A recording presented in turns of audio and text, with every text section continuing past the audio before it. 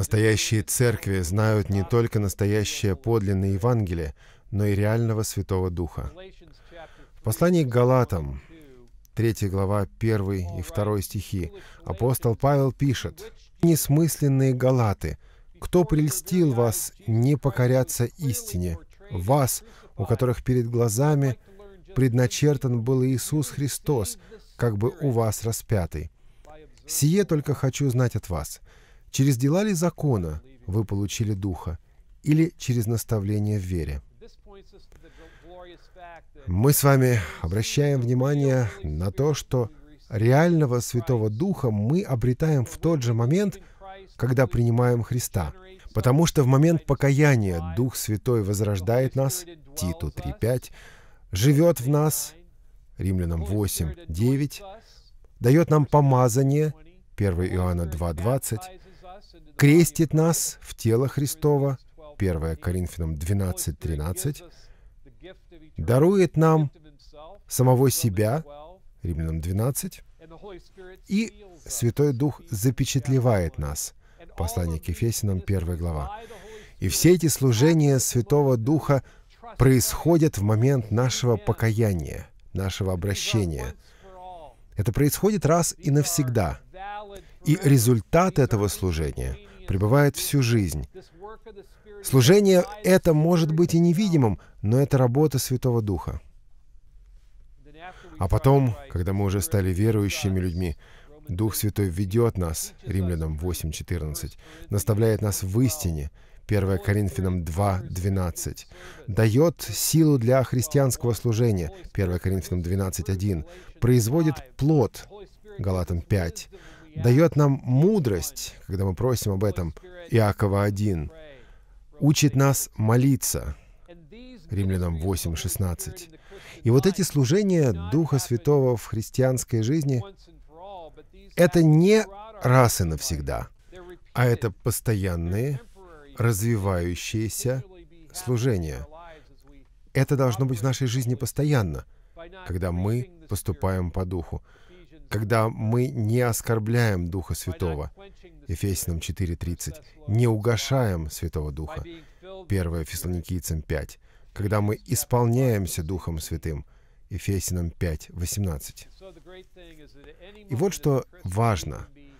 В каждый момент своей жизни христианин знает, как себя вести не потому, что сам решил, а потому что Дух Святой ему это подсказывает. Один из моих любимых символов Святого Духа происходит из кельтского христианства, 4-5 века. Знаете, как там называли Святого Духа? Святого Духа там называли диким гусем. Потому что, как пишет Марк Паттерсон в своей книге «Охота на дикого гуся», Святой Дух похож на дикого гуся. Его невозможно приручить. В нем есть определенная опасность, определенная непредсказуемость.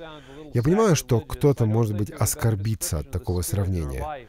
Но мне кажется, что это вполне достойное сравнение. Кельтские христиане поняли нечто важное.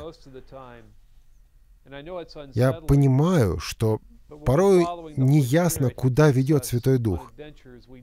Святой Дух приводит нас к тому, о чем сами никогда бы не подумали. Марк Паттерсон — это пастор в Вашингтоне. А, наша дочь ходит как раз в его церковь. И вот эта церковь была когда-то маленькой. Она встречалась, собиралась в школе. Ей было нелегко. Но потом у них появилась возможность перевести церковное богослужение на вокзал. Да, именно на вокзал в Вашингтоне. И церковь начала расти, прежде всего за счет 20-30-летних людей, которые переезжали в Вашингтон, чтобы работать в американских госструктурах. Господь делал там удивительные вещи. Церковь росла. Нужно было расширяться, нужно было новое здание. Было непонятно, где его искать. Они присмотрели одно интересное здание, они молились много лет об этом здании. И потом возникла у них возможность, появилась возможность купить это здание. Это здание было запущено, там были бомжи. И они переделали это здание, сделали там кофейню. Теперь эта кофейня называется Эбенейзер, и это, пожалуй, одна из самых известных, известных кофеин в этой части города. И все, что зарабатывает эта кофейня, идет на миссии. И сейчас есть также э, такие же кофейни в Берлине, в Германии.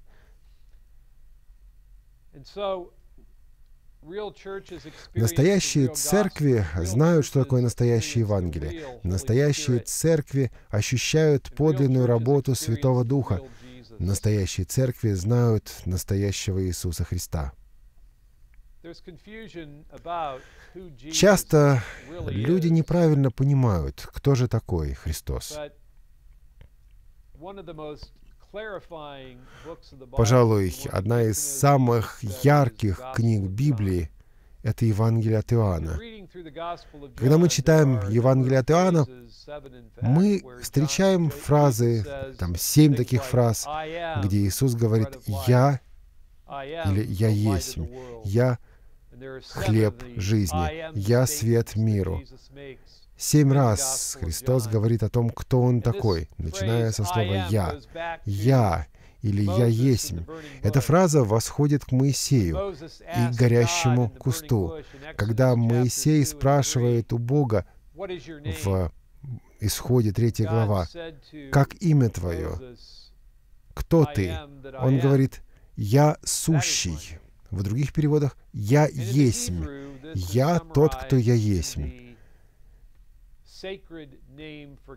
Вот в этом имени Божьем, в этом священном имени Божьем, «Я сущий», «Я есмь», «Яхве».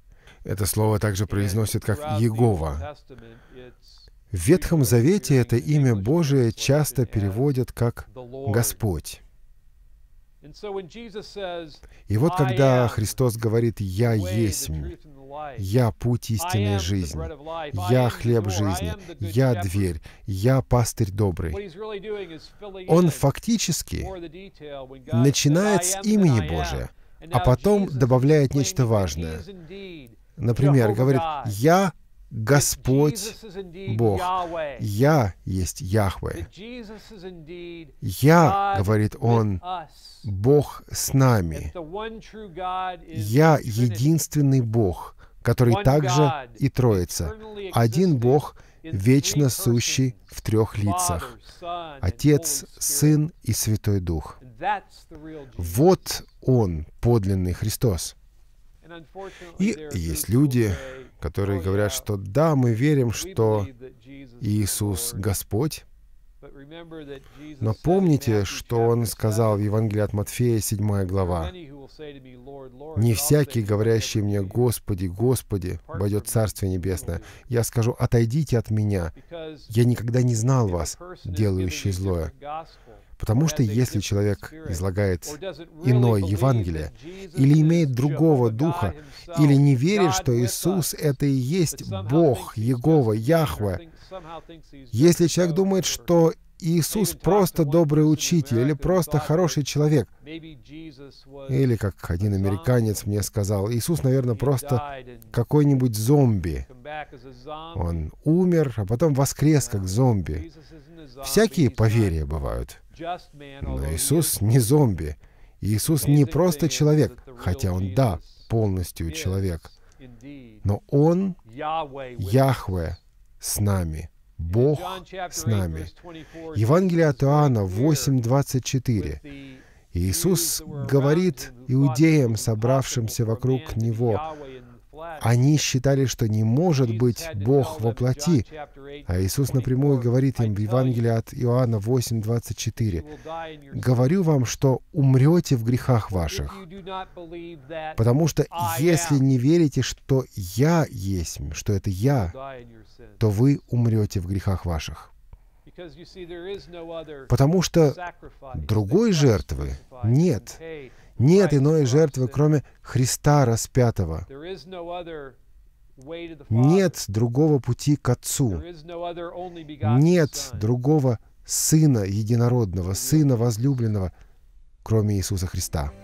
ТВ-семинаре – благотворительный проект. Наш общий вклад обеспечит доступное христианское образование и формирование сотен служителей по всему миру. Поддержите наш проект молитвой и финансами. Информацию, о чем молиться и как пожертвовать, вы можете найти на сайте tvseminary.com.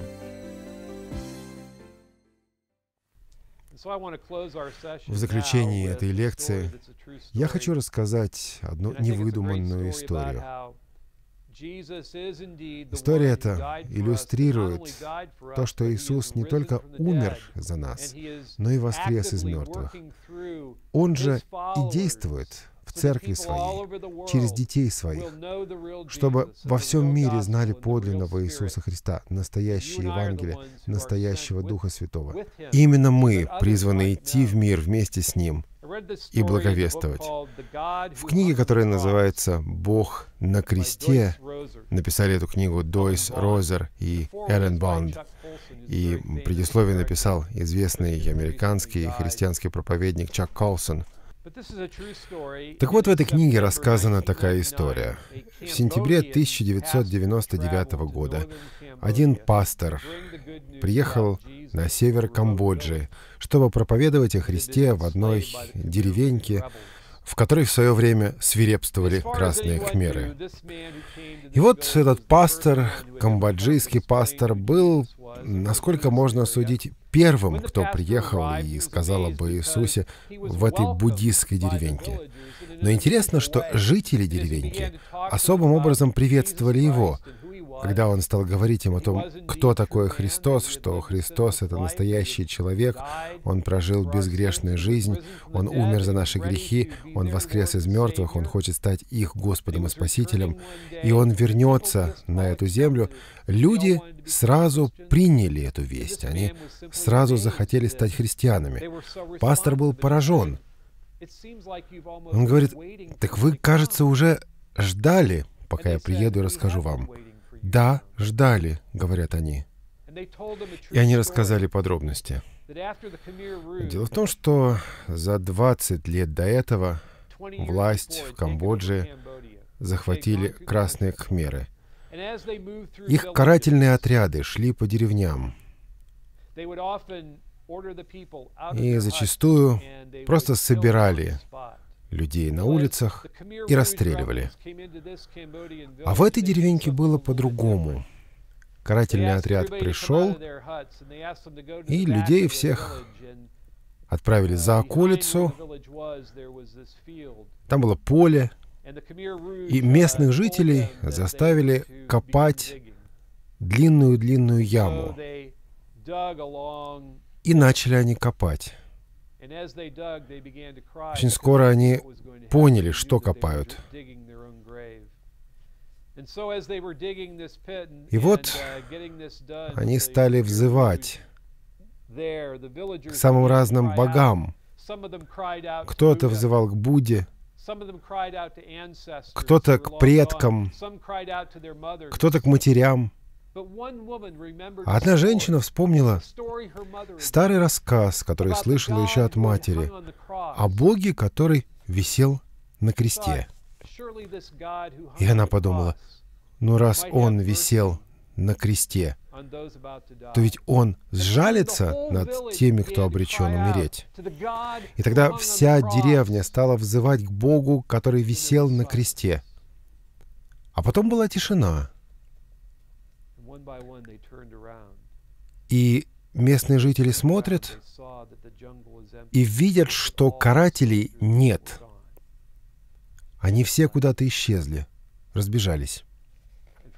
И вот с того момента жители этой деревеньки ждали, чтобы кто-то пришел и рассказал им о Боге, висящем на кресте. Они покаялись и стали последователями реального Иисуса Христа, получили настоящего Святого Духа, приняли подлинное Евангелие, и центр его — сам Христос. Реальные церкви, реальные христиане, все мы должны следить, чтобы никто не увел нас от подлинного центра, от Иисуса Христа.